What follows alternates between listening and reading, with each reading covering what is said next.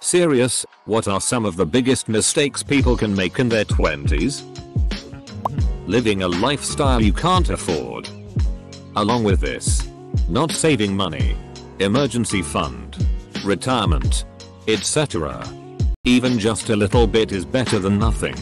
Saving big chunks like tax returns instead of treating yourself is hella smart. Just F King coast through life waiting for something to happen. Nobody is gonna walk up to you and hand you a meaning to your life or a fulfilling career. Not getting a routine of a healthy lifestyle. When older people say it gets a lot harder when you're older, they mean it. But, you can always start treating your body better at any age. Don't throw in the towel because you're older. Don't make excuses. Make goals. Having children by the wrong person. Having children at all before you're ready emotionally, mentally and financially. For the majority of my friends in high school it was trying heroin after experimenting with pills. Since then 6 have died and the rest are either struggling with their addiction or have completely ruined their lives. Edit. This is Central Eastern Kentucky. Get a DUI. Coasting on their potential. It's easy to put off actually doing anything while you're still basking in the glory of being the smart kid at school or university. But then all of a sudden you're 29 and there are celebrities younger than you and you find yourself wondering where to even get started. If you want something, the time to start working towards it is while you're young and hungry. Mm-hmm. Falling out of the habit of exercising regularly. It's such an easier habit to maintain than it is to adopt in one's 30s. Edit. This comment isn't about weight loss. It's about exercise. You can all stop talking about limiting calories. I've literally been there and done that. Looking thin is not the only component to having a healthy body. Mm-hmm. Don't think that there is plenty of time to save for retirement. If it is possible for you to put something away on a regular basis, do it. The best time to start is when you get a job that offers you more pay than what you were getting. Take a percentage of the increase and start savings that right from the beginning. That helps make it such that you never miss it. Mm-hmm. Not taking advantage of your greatest asset. Time. When I was talking with an older friend who was very well off. Millionaire. I jokingly said. I'll trade you my age for your money. And his reply has always stuck with me. He said. I can do more with your time than you can do with my money. I didn't take it as an insult but as motivation to make the most of my time and not waste it. Mm-hmm. Not taking advantage of the freedoms you have now. Most people in their 20s aren't married or have kids. Enjoy it. Travel. Volunteer. Figure out who you are and what kind of person you want to be as you finish growing up.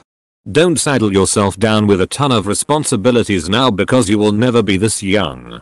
This free. This full of energy. And have this many opportunities to grab life by the balls and enjoy yourself again. Mm-hmm. Take care of yourself. Your habits now will follow you for a long time. I'm 27 and starting to realize this so I'm trying to turn things around. Less drinking. More salads. Less carbs. etc. Also don't waste money on stupid shit. If you're about to buy something stupid just think will I get annoyed at having this in 2 years? Double quote. Mm-hmm. Forgetting about calling and visiting your parents. Seriously. It may sound weird but when I was in my 20s I was so happy to be out of the house that I made the mistake of disconnecting with my mom and dad. I wish I would have done more. This. Two years ago, I was 24, took it for granted. Great relationship. With my parents just didn't acknowledge it to them or really spend time with them. I got a call that my dad had cancer and they would get it removed act. A week later they said it was worse than they thought. And less than 5 days later he was dead. What I would give for like 10 minutes to talk to him. Ask him what his favorite color was. Favorite movie. FCK. Mm-hmm. Having a kid before being in a committed relationship being married and being financially prepared. Mm-hmm. Maxing out credit cards. Kids witness their parents opening up credit cards at major retail stores. Not understanding what it means. Since most teens are inadequately prepared for handling finances fresh out of high school. Opening credit cards is just what mom and dad always did. Asterisk. Mm-hmm. 20s are a minefield everything you do determines a large chunk of your future. I'd say the most careful with drugs and relationships. In my 33 years those two things have been the most damaging and life dream threatening. Just my 02. Mm-hmm. Staying in a mere relationship because they think that's as good as relationships get. Mm-hmm. Not wearing sunscreen. Seriously people wear sunscreen. Getting sunburned just once can triple your risk of melanoma later in life. I work with a lot of older hippies. Construction workers. Landscapers. And arborists and a lot of them have skin cancer and they all really wish they had worn sunscreen. Listen to Baz Luhrmann and wear sunscreen. If you're concerned about certain chemicals in sunscreen there's always alternatives. Also look into Korean sunscreens. They have amazing sunscreens that go on smooth just like lotion and don't leave you sticky or contain some of the harsh chemicals in American sunscreens. Make it a part of your daily routine and you'll appreciate it later in life. Mm-hmm. Sacrifice learning for earning. Not saying you have to go to college. But you need to learn a marketable skill in a career that has a future. Working as a server bartender or other similar job for easy money is not a viable long-term move.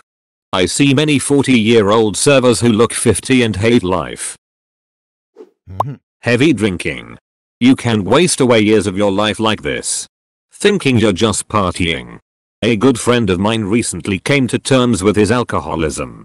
Getting blackout drunk every week for nearly a decade is not normal.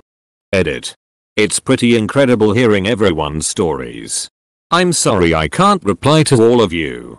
But I promise I have will read every single one. As for my friend.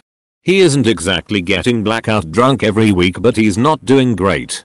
He has admitted his problems but so far hasn't done anything to slow his drinking. He recently moved across the country so there is little I can do. But these stories have definitely encouraged me to encourage him to seek help. Mm-hmm. Not having the dedication to save and keep saving. I currently just got out of college and started to get into the rhythm of working after having a dry spell on applying places since December. I'm lucky I had some money to back up those months of not really being employed. Now that I started to get some income in. I'm trying so hard to put away those paychecks and hold on to them for when I want to find a house or for retirement fund. But I'm still in the mindset of if I see something I need it. Mm-hmm. Not caring about credit credit score. Getting credit cards and maxing them out and not being able to keep up with the payments. I'm speaking from personal experience here. I was never taught to be financially responsible and it's been a hard lesson learned. I'm 35 now. My credit score is slowly creeping up. And I have a 3 year plan budget for home ownership. I'm literally a decade behind where I wanted to be mm-hmm. racking up more school debt than they need to because they feel they need to stick it out at the expensive private college for whatever reason, friends, relationship, school reputation, etc. Dot. Mm-hmm. Not investing in yourself. Workout. Learn skills, professional and personal. Stop wasting time. Mm-hmm. This may sound really stupid and poetic, but a big mistake one could make is not making enough mistakes. Your 20s are supposed to be a time of trial and error. I hope you take this with common sense. This does not mean to make the mistake of doing black tar heroin or sticking your fingers up an unwilling girl's skirt. Just do not encase yourself in this insecure bubble that will lead to deep regret later in life. Mm-hmm. Going to law school and then dropping out in their last semester. Good luck finding a non-law job with law school on your resume. Even Marizo if you didn't finish.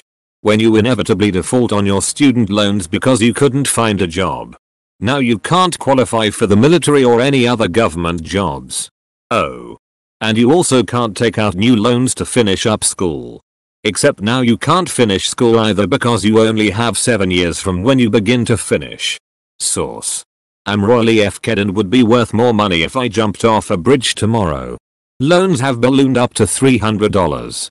000 and can't be discharged. Mm-hmm. I know a lot of people who FKed up bad by marrying in their early 20s. I was one of them. Mm-hmm. Marry the first person that shows interest in them because they feel like it's their only chance to be with someone. And having kids immediately after.